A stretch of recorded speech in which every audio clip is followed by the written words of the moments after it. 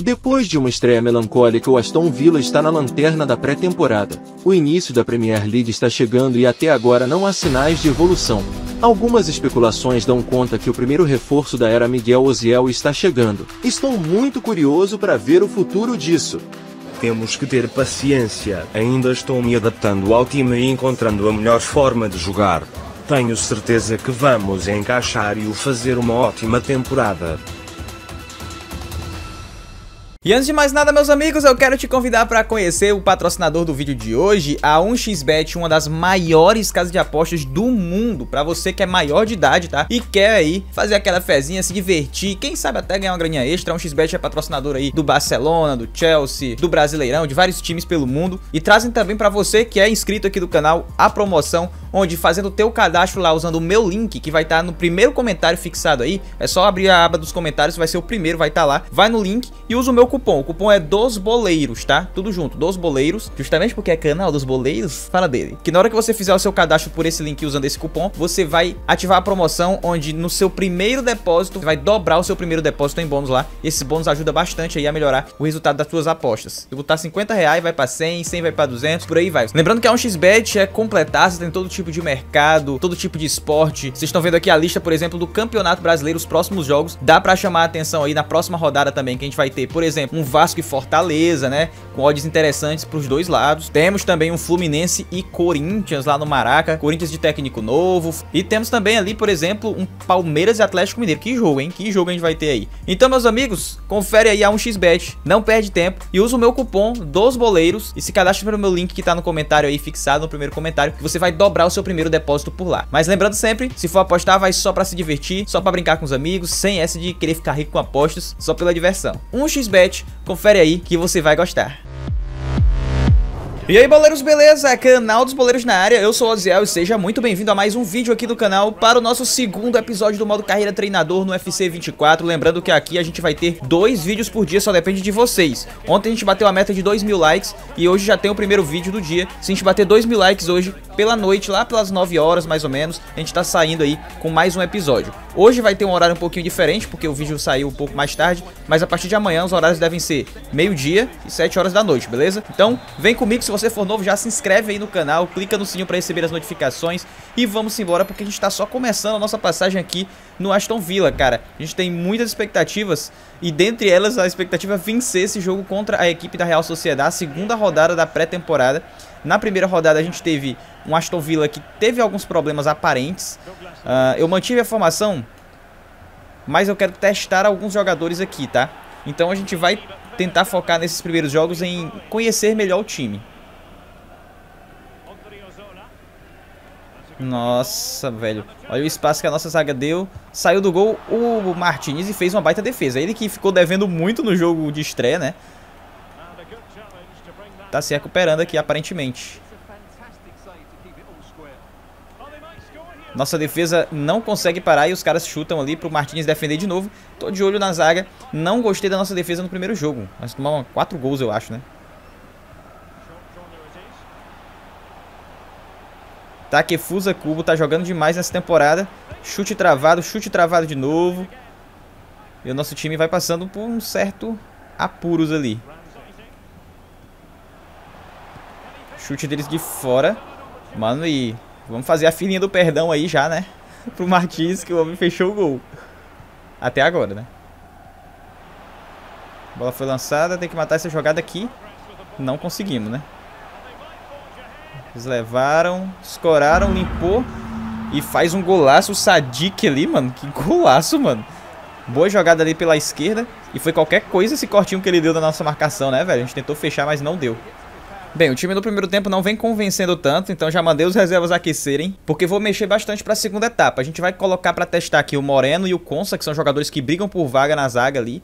E vamos sair de, de Zaniolo pela direita no lugar do Bailey, e eu coloco o Diaby para ser segundo atacante, tá?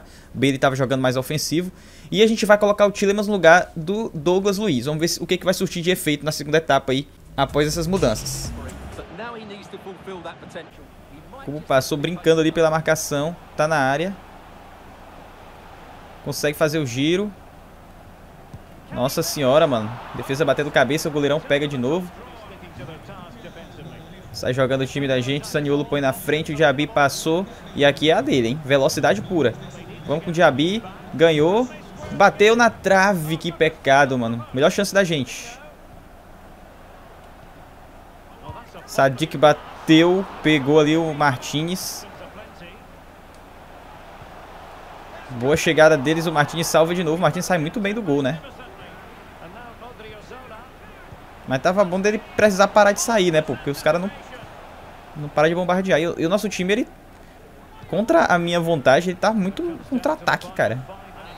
É, meus amigos, e no segundo tempo a gente não viu, assim, uma evolução tão grande. O time criou um pouco mais e sofreu menos, né? Tem esse detalhe. Vamos testar aí, a gente vai ter mais um jogo de pré-temporada. Eu vou testar umas mudanças na defesa porque eu achei que melhorou um pouco a nossa zaga, cara. A, a, questão desse time é que parece que ele é um time mais talhado para jogar em velocidade do que necessariamente tocando a bola, tá ligado?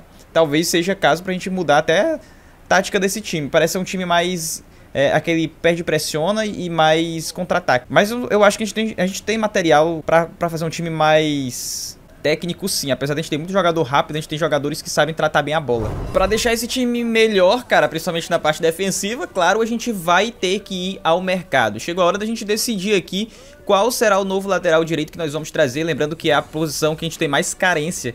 A gente não tem um reserva para o titular Cash, e a gente teve três nomes que a gente conseguiu entrar em contato aqui. O primeiro deles foi o Dodô, brasileiro, depois a gente tem o francês Yakité, 11 milhões, Dodô foi 14, né?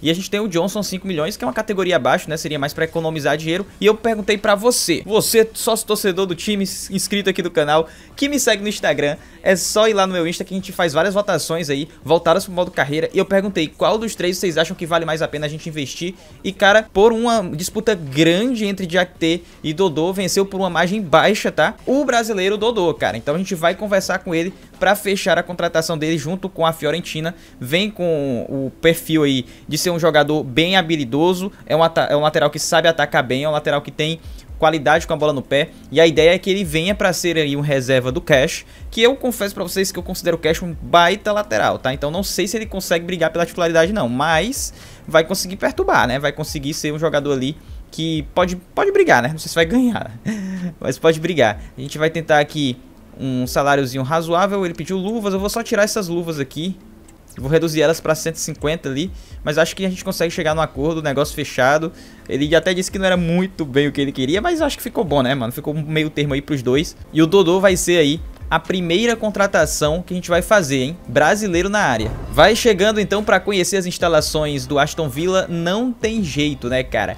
É a União Brasil-Portugal. O Dodô aí, brasileiro, sendo apresentado para o clube pelo Miguel Oziel, português. E vai chegar para o time aí como primeiro reforço da nossa gestão aqui na temporada. Tá apresentado o garoto, espero que seja aí o primeiro de muitos reforços de alto nível para o nosso clube. O Dodô foi contratado por 14 milhões de libras. Vamos ver aí, o tempo vai dizer se esse valor saiu caro ou não. Nossos assistentes disseram que foi um preço excelente, né? Então foi um ótimo preço para eles. E eu espero que a gente olhe para o futuro e diga: caraca, foi muito barato, né? Foi muito barato. A gente inclusive bateu ali uma meta, hein? Que era trazer um jogador de nacionalidade diferente do clube.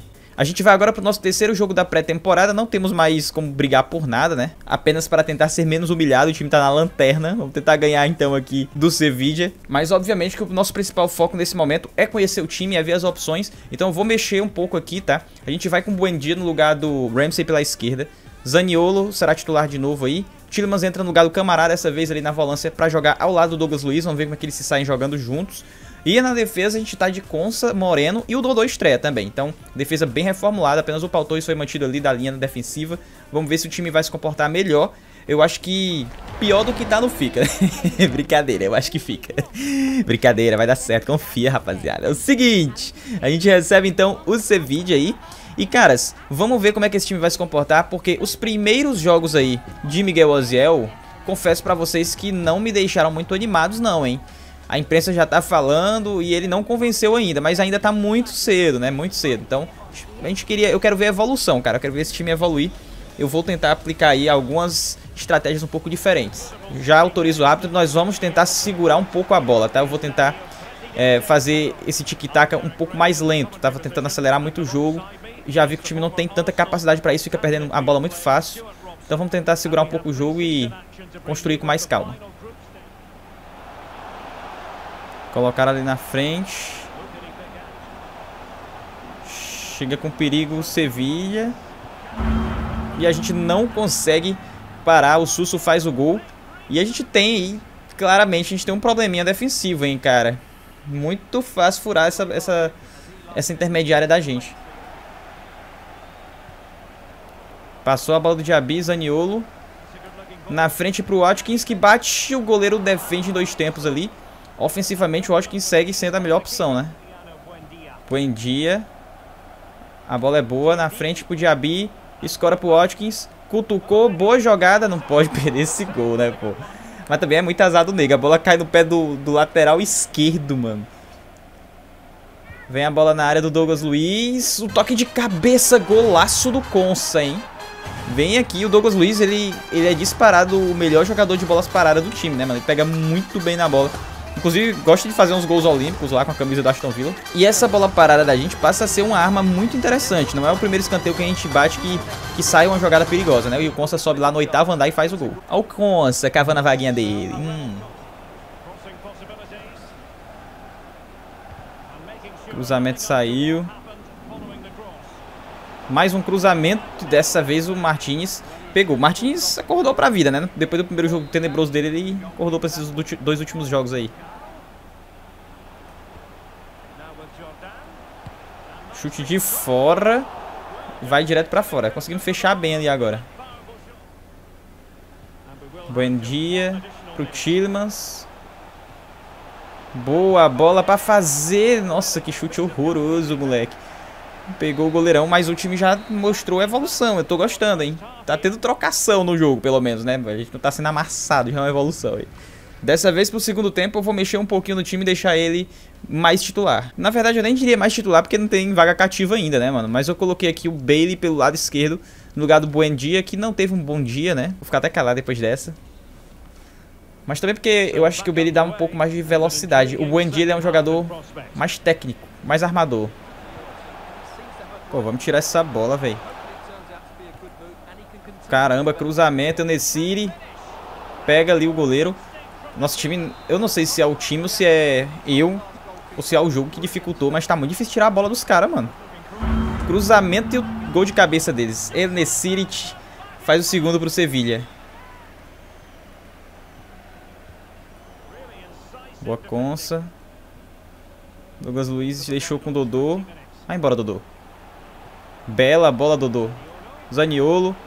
Pro Watkins. Olha esse maldito, mano. Pega agora. Não, mano, foi pra fora. Caraca, olha a defesa que esse goleiro fez, bicho. Inacreditável. E eu gostei da, da jogada do Dodô, hein. Olha o Sérgio Ramos, mano. O Sérgio Ramos tá no Sevilha. Entrando em campo aí. Bailey botou na frente pro giro do Zaniolo. Achou lá na ponta. O cruzamento saiu. O toque de cabeça do Watkins vai pra fora. Mas olha, já podemos ver também que o Zaniolo encaixou ali, hein.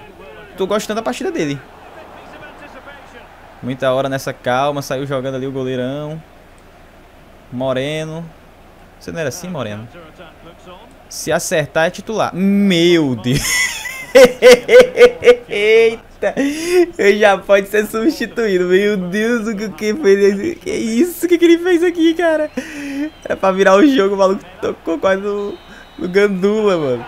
Meu Deus, mano. Fim de jogo, temos um 2x1. A gente conseguiu, hein? Conseguimos a façanha de perder os três jogos. Mas foi uma escadinha, né? No primeiro foi uma massa total, no segundo foi uma massa parcial. No terceiro a gente teve um jogo equilibrado e perdemos no detalhe, né? Esse jogo aqui. É pré-temporada, mas já dá pra ligar aquele sinalzinho de alerta. O time precisa de ajustes, né? Essa é a verdade, principalmente defensivamente. Estamos passando alguns perrengues ali. Provavelmente a gente vai ter que encontrar aí uma solução mais viável, não sei se botar dois jogadores de marcação ali na volância, descer um pouquinho mais o Douglas Luiz, talvez, vamos ver. O fato é que a pré-temporada do, do Aston Villa serviu para mostrar mais pontos negativos do que positivos. Depois desses jogos, cara, eu vou fazer algumas mudanças, tá? O time que eu vi como mais interessante seria com o Tillemans de titular no lugar do Douglas Luiz, por enquanto, depois a gente pode até mudar de volta. Com o Zaniolo ali, na dupla de ataque com o Watkins, e o Ramsey vai ser mantido mesmo aqui, porque o Bailey tá complicado, né, mano? Ainda não, não me convenceu. O Moreno jogando de lateral também é interessante, que ele é um pouco, parece ele ser um pouco mais ofensivo aqui. Eu gostei da performance dele aí, comparado ao Dinhe. Mas vão brigar bastante por vaga também. Então vai ter essas mudanças no time a princípio. Bem, não foi uma percepção só do técnico esse início fraco do Bailey que perdeu até a vaga, né, cara? Também temos a imprensa falando um pouco sobre isso. E temos proposta chegando pro clube. Empréstimo aqui do nosso volante reserva. Eu vou aceitar só um empréstimo normal de um ano, tá? Não vou botar a opção de compra por enquanto nele, não. Ele chega a um acordo e deixa o clube por uma temporada. Vamos torcer para que ele consiga se desenvolver por lá, porque aqui realmente a gente tem duas posições que é muito lotado, mano. É volante, que é a posição dele, né? E pontas. A gente tem muitos pontas, principalmente pela direita, e muitos volantes. Então é melhor emprestar a garotada. Um detalhe também que eu tenho que avisar vocês é que eu vou ficar sempre mexendo aqui no nosso plano de treino, né? Porque como a gente tá tendo aí jogadores que passam a ser titulares e deixam de ser reservas e tal, então eu vou ter que dar uma uma, uma, atualizada. Eu já vi que alguns titulares entraram cansados, né, no último jogo. Então vou fazer o seguinte, eu vou colocar aqui, ó, equilibrado. E tem uma opçãozinha que a gente consegue aplicar o treino a um grupo, ó. A gente consegue aplicar a todos do time titular. Então vou pôr para todos do time titular ficarem equilibrados, ó. Já vai automaticamente. Legal isso aqui. Acho que era pra ter opçãozinha de todos os times reserva também, né? Mas não tem. Aston Villa em terceiro da Premier League, hein? Salvo o print. E enquanto isso, os relatórios vão chegando, hein, meus amigos? E as propostas também. A gente recebe uma oferta tentadora do Manchester United pelo Consa, mas como ele tá ganhando a titularidade, eu não vou negociar ele agora não, mano. A gente vai segurar esse jogador aqui que parece ter um futuro promissor com a gente. E é o seguinte, eu pedi sugestões para vocês de jogadores que vocês sugerissem para serem nossos atacantes reservas, tá? Então a gente tem vários nomes aqui sugeridos, eu não vou nem citar de um por um, porque são muitos nomes. Quero agradecer a todo mundo que tá comentando, tá? E para quem for novo no canal, é sempre assim, tá? A galera participa e sugere as contratações do time. E aí eu pego as principais dicas vou vendo as que encaixam melhor e a gente vai até escolhendo juntos aqui, geralmente em votações lá no meu Instagram. Então já segue aí, o meu Instagram tá na descrição. Cara, é o seguinte, para perfil de reserva, queria um jogador ali até uns 75, 76, nessa média de, de over, tá? E claro, a gente vai seguir contratações realistas. Então, por exemplo, o Jonathan David ele acabou de ser contratado pro Milan, então nós não vamos tentar contratar ele. Mesmo caso do Reteg, que acaba de chegar aí para o Enova. Esse cara é pra ficar de olho, é bom jogador, hein? Vai ficar salvo aqui e nas próximas a gente pode até pensar em entrar em contato. Pô, o Boadu caía bem, né? Mas só que ele acabou de ir pro Luton Town. A gente chegou um pouquinho atrasado aqui no, no rolê, mano. Um jogador que me chama bastante a atenção é o Mephistel, velho jogador do Bayern de Munique, o cara é reserva só do Harry Kane. Então ele lá não vai jogar, sabe quando? Nunca. Então, quem sabe aqui na Premier League ele consiga ter um tempo de jogo, venha pro nosso time e desenvolva 18 aninhos, ó, bem novinho, mano. Vamos conversar então com o manager do Bayern de Munique e ver se a gente consegue chegar a um acordo para venda de uma joia, né? Mas é uma joia que o Bayern provavelmente sabe que não vai ter espaço por lá, pelo menos não nos próximos anos.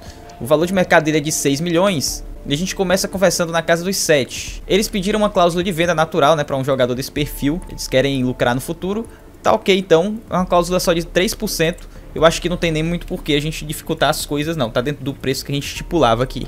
Tel, então, é a primeira opção para o nosso ataque. Mas vocês sugeriram também jogadores que já chegariam mais prontos, digamos assim, para o time. O atacante Coamé, por exemplo, é um deles. Hoje ele é um reserva, digamos, de luxo lá na Fiorentina, tá tendo aí uma temporada razoável, ele tinha sido emprestado, voltou, mas claro, não é titular, então tem margem para eles negociarem, né? Ali tá estipulando o valor dele entre 9 e 12. É um jogador já bem prontinho, tá? Então, com certeza, por ser jovem e já ter um overallzinho legal, ele é um jogador que com certeza brigaria por vaga de titular. Então já é um perfil um pouquinho diferente do Tel e deve sair um pouquinho mais caro também, né? Eu vou tentar chegar mandando 10 milhões, cara, que é um pouquinho acima do valor mínimo que eles sugeriram. Eles me responderam, ah, mas aí não vai, né, mano? Não vamos trocar no Mings nem a pau, velho. Ah, é o Mings, eu confundi com o Atkins. Então peraí.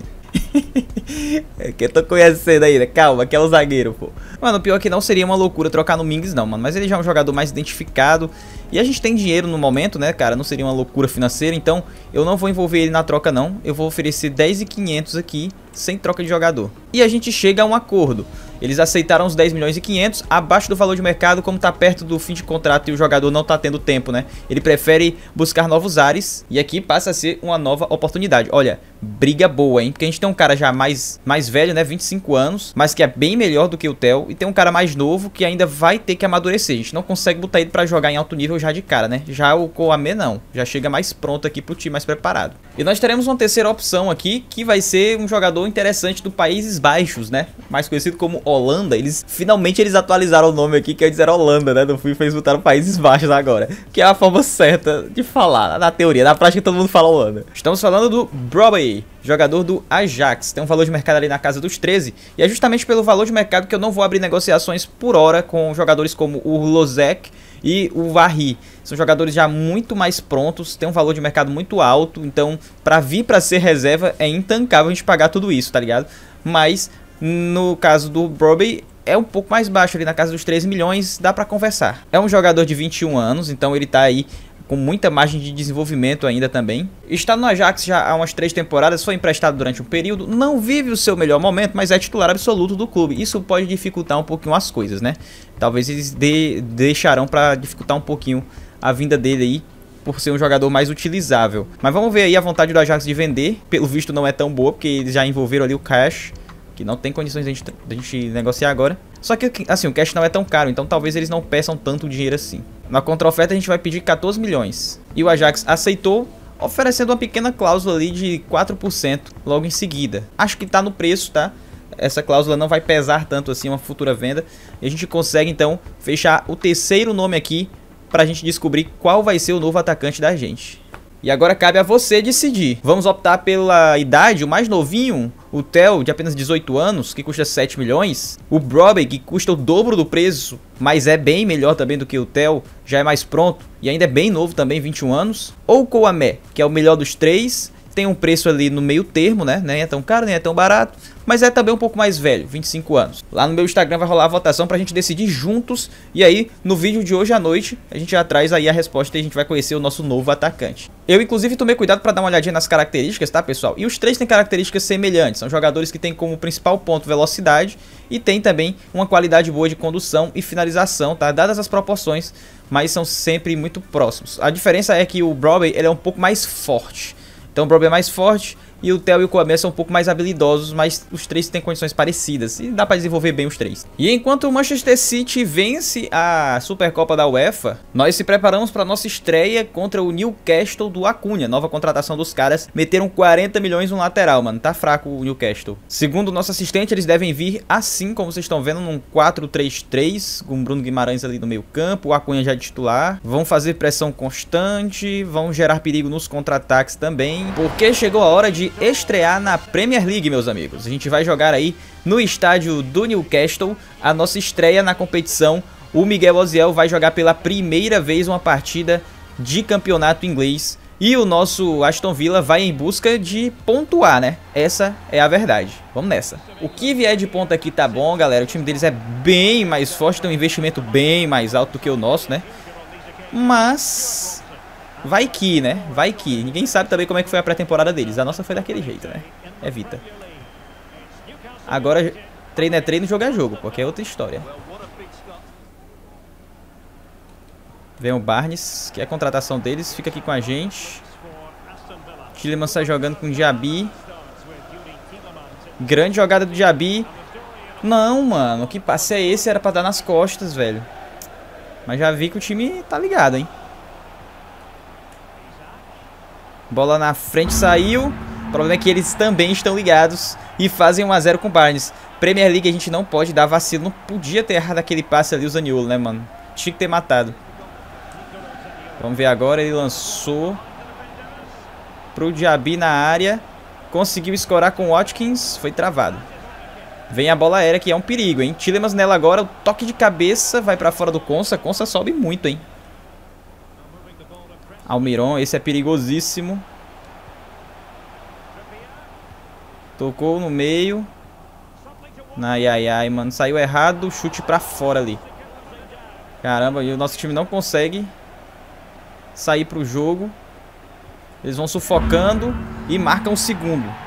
Isaac faz o segundo do Newcastle. E a gente vem mostrando fraqueza defensiva, assim como foi na pré-temporada, né? Quem diria, não é mesmo? Primeiro tempo lamentável da gente aqui no St. James Park, hein, galera? Muito fraco. Temos que mexer. Douglas Luiz, titular Buendia lá pela esquerda também. A gente vai fazer duas mudanças no intervalo para tentar dar uma acordada nesse time, mano. Douglas Luiz, a bola é boa pro Moreno. Na frente, a chegada foi travada ali. Mais uma jogada que a gente consegue criar, mas não consegue finalizar bem, né? Bola aberta, Willock. O Giro ficou com a gente. Teremos o contra-ataque aqui com o Zaniolo. Ele solta no Diaby que consegue ganhar da marcação. Chama na velocidade. Trabalhou Zaniolo. Douglas Luiz. Pro giro do Buendia. Tá na área. Escorou mais atrás pro chute e o gol do Moreno. É pra isso que ele tá em campo, cara. Eu notei na pré que ele, ele sobe bem, né? Ele apoia bem. Tá lá, recebeu a assistência do Buendia. E o time faz o primeiro, né, cara? Primeiro gol da gente aí na Premier League com Moreno, mano. E tamo vivo. Tem mais um tempinho ainda aí, quem sabe. Vamos pro abafa, né? Não custa nada. Ó o gol vindo, ó o gol vindo, não vai vir não. Fim de papo, meus amigos. E o nosso time estreia com derrota no St. James Park, 1 a 0 para o Newcastle. A verdade é que é um resultado, convenhamos, né, aceitável, tá? E o time não jogou mal. Não jogou mal. Tem alguns problemas ainda defensivos, mas apesar de estrearmos com derrota, eu fiquei feliz de ver que tivemos algumas evoluções, principalmente ofensivas aí. E o time nos dá uma certa expectativa boa para o futuro.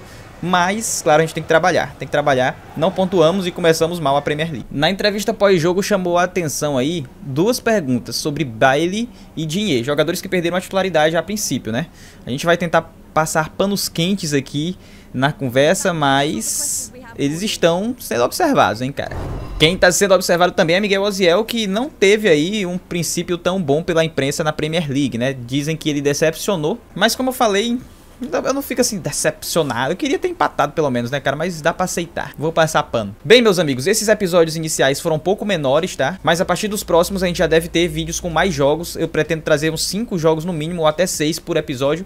E no próximo episódio a gente fecha essa janela de transferências aqui. Vamos ver qual vai ser o novo atacante. Já tá rolando a votação, então, no Insta, fique ligado. Comentem sugestões de contratações. Eu tô anotando muitos jogadores aqui que vocês estão mandando, ó. E de todas as posições possíveis, tá? Vem aí pela frente também estreia na Conference. Tem jogo contra Liverpool, tem jogo contra Everton também ali em breve. Então tem muita coisa vindo nos próximos episódios. Deixa o like, se bater 2 mil likes, ainda hoje a gente tem um novo episódio, então não esquece, compartilha esse vídeo também, se inscreva no canal se você for novo, confere a playlist se você ainda não viu o primeiro episódio, ou se você quer maratonar, a playlist tá na descrição e também tá no card aí na tela, confere lá que eu tenho certeza que você vai gostar, beleza? Para mais vídeos, se inscreve aí no canal e confere meu segundo canal também, que tem lá o modo carreira jogador, tá rolando ao vivaz por lá também, beleza? Lembrando também do nosso patrocínio de hoje, a 1xBet, link no comentário fixado, dá uma conferida lá, que se cadastrando pelo meu link e usando o meu cupom dos boleiros, você vai dobrar o seu primeiro depósito na 1xBet, que é uma das maiores casas de apostas do mundo para maiores de 18 anos, claro. Então confere lá. Tamo junto, um beijo e até o próximo vídeo. Tamo junto, valeu e fui!